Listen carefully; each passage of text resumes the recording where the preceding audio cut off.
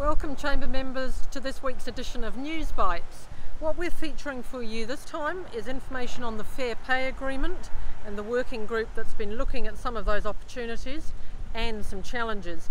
An update on the economy from Infometrics and the Chamber's submission on the draft tourism strategy.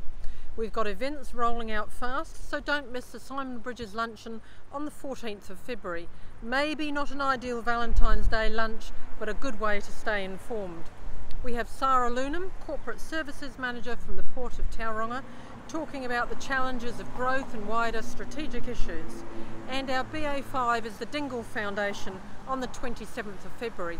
If you've got any good auction items that we can add, please let us know. And of course, the annual Chamber Golf Tournament, proudly supported by Sidekick.